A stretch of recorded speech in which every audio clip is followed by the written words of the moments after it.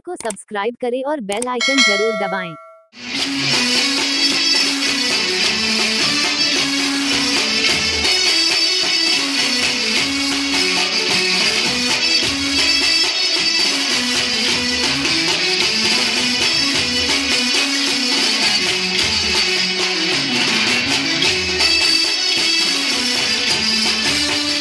दिगंबर जैन समाज के पर्यूषण पर्व की समाप्ति पर दो दिवसीय रथ यात्रा के दौरान सोमवार को गांधी चौक स्थित ऋषभदेव जैन मंदिर से रजत व काष्ठ रथ में भगवान की सवारी निकाली गई, जिसमें सकल जैन समाज के समाजजन की मौजूदगी में गाजे बाजे के बीच निकली यात्रा में युवक व युवतियाँ श्री जी की भक्ति धुन पर थिरकते नज़र आए।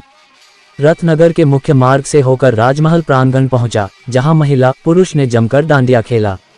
इसके बाद रथयात्रा पाल दरवाज़ा पहुँची, जहाँ भी डांडिया रास का भव्य आयोजन हुआ। तत्पश्चात रथ यात्रा गांधी चौक स्थित ऋषभदेव मंदिर पहुँची, जहाँ महाआरती के बाद रथ भंडारा किया गया।